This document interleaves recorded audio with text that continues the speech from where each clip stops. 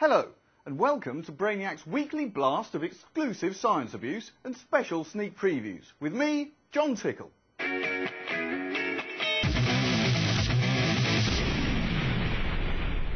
First, it's time for my big science breakthrough. This week's breakthrough comes from the world of anthropology. Scientists have discovered that there are more similarities between Neanderthals and modern humans than previously thought. They now believe that Neanderthals contributed directly to the ancestry of the early modern humans that succeeded them, and that the behavioural differences between the two groups were small.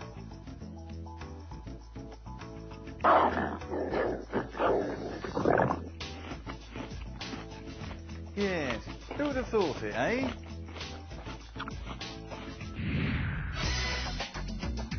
Now it's time to see what's hot in my inbox this week.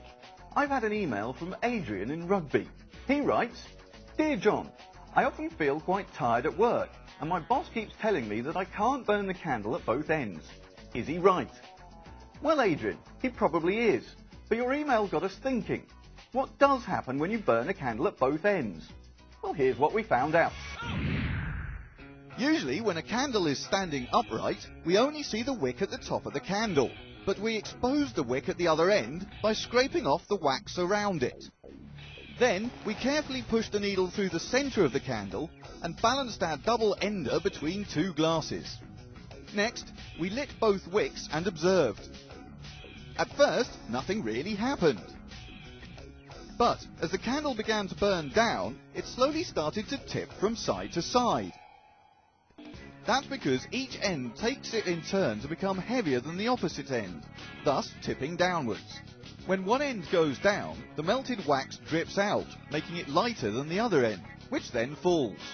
Then the same happens to that end, and so the seesaw motion continues. We also found that not only does it look good, but you can use it to hypnotise a brainiac and make him think that he's a little squealing piggy. So, Adrian and Rugby, you can burn the candle at both ends. But do stop going out and getting drunk all the time before you get the sack. And now it's time for my exclusive preview of show 9 of Brainiac Science Abuse. Our brand new series continues with presenter Vic Reeves. Excellent! He leads your favourite all-star cast, including yours truly, Charlotte Hudson, Dr. Kilcoyne, Dr. Bunhead, and Professor Myang Lee. In this week's show, we wreak havoc with gigantic water bombs. Our Brainiacs find out which household goods make the best fake tans, and Super Brainiac brings sunshine into this young lady's life. Plus, loads more science abuse.